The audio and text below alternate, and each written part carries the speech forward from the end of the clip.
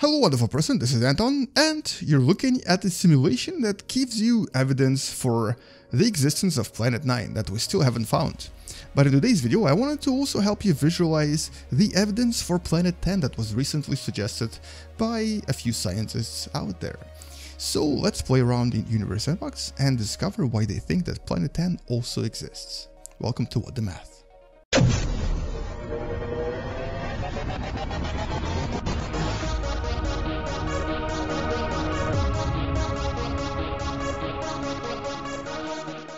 Now for this simulation, we're actually going to be going into something completely new and making one from scratch. So I'm going to actually just take like a regular sun in the middle here. And what we're going to do is uh, we're going to basically simulate the existence of Kuiper's belt, but we're going to build it a little bit closer to the sun so it's actually uh, so it has effects that happen a lot faster than usual. Because if I if I were to make an actual Kuiper's belt, I would have to wait like billions of years real time for these effects to appear. So let's create a few rings here. And I'm going to make them maybe slightly lighter color so they're a little bit easier to see. And they're going to be basically spinning around the sun. Let's maybe make a few, few more just to, it's a little bit easier to visualize.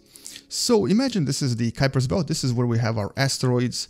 Uh, basically, this is at a distance just after Pluto uh, just over 40 astronomical units or so, and it extends to several hundred astronomical units. This is where Sedna is, this is where Eris is, and this is where maybe, just maybe Planet 9 is as well. Now, one thing about this particular ring I've just created is that it's currently completely flat. It actually is very, very, very flat in relation to the sun's uh, spin. And basically, it kind of represents a perfect theoretical solar system. Uh, now, unfortunately, things don't really work that way in real life, so we're gonna simulate this a little bit better when we add a planet.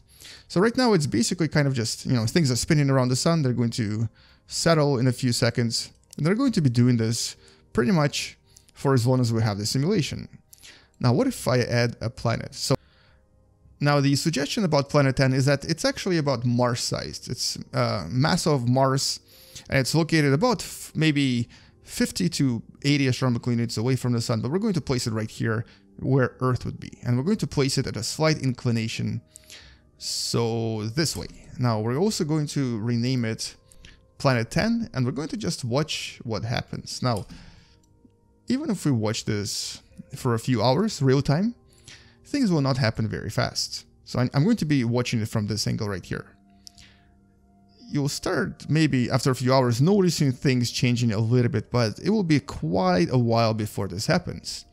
It will, as a matter of fact, take uh, possibly even several years real time for us to notice the effects. So we're going to actually cheat a little bit. We're going to change our Planet 10 just to um, accentuate, just to increase the effects here and to help us visualize things better.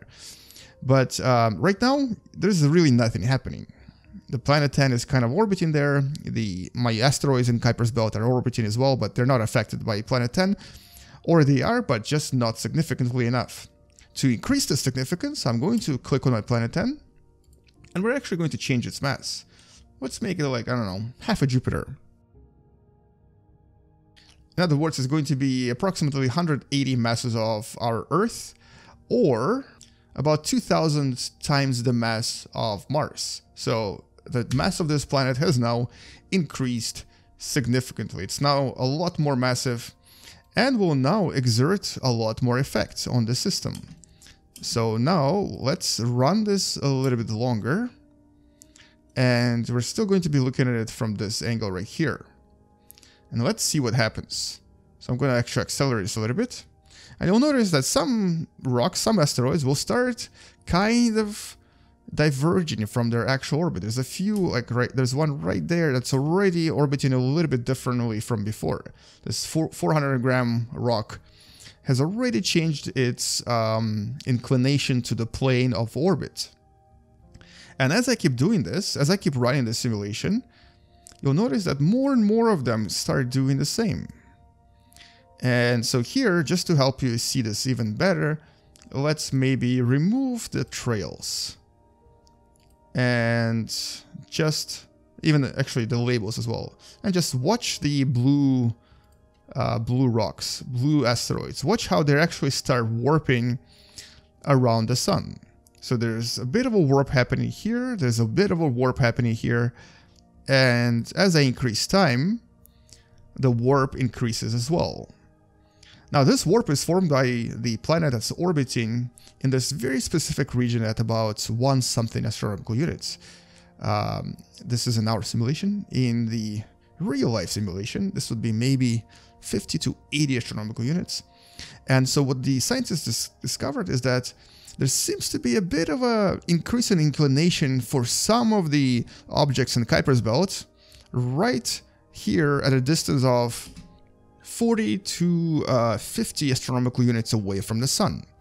And then here, there is really nothing. Here, there's really nothing. But in this particular region, there's something. And obviously the planet is not as massive as the one we just placed here, but it might be there. And so let's just actually look around from the other angle here.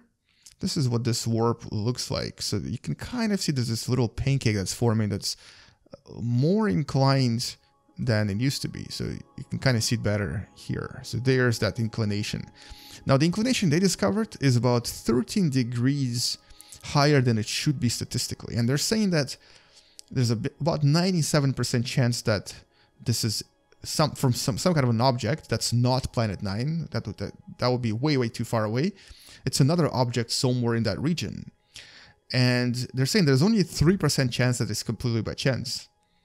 So that's a pretty low chance, if you ask me. But it's still possible that maybe it's just completely by chance statistically.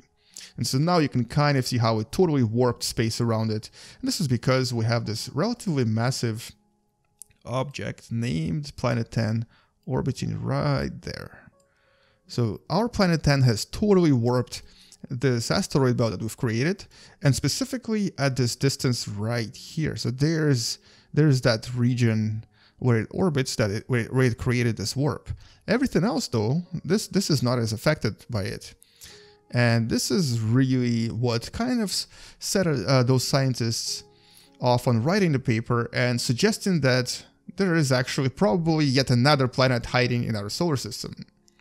And I think this is a pretty sort of solid visualization of what uh, they are talking about in their paper, especially if you decide to read it and realize it was really complex and involved a lot of formulas and numbers. So this is hopefully helpful to those of you who wanted to know more about this new Planet 10. And hopefully now you kind of understand what they're talking about. Anyway, that's really all I wanted to do in this video, and hopefully you learned something from it. If you've enjoyed this video, don't forget to watch the other video about Planet 10 and come back here tomorrow to learn something else. I'll see you guys tomorrow. Space out. And as always, bye bye. And I can't help but explode Planet 10 and of course a little sun, creating this beautiful blue system with a bunch of fragments flying everywhere. Anyway, see you guys later. Bye bye.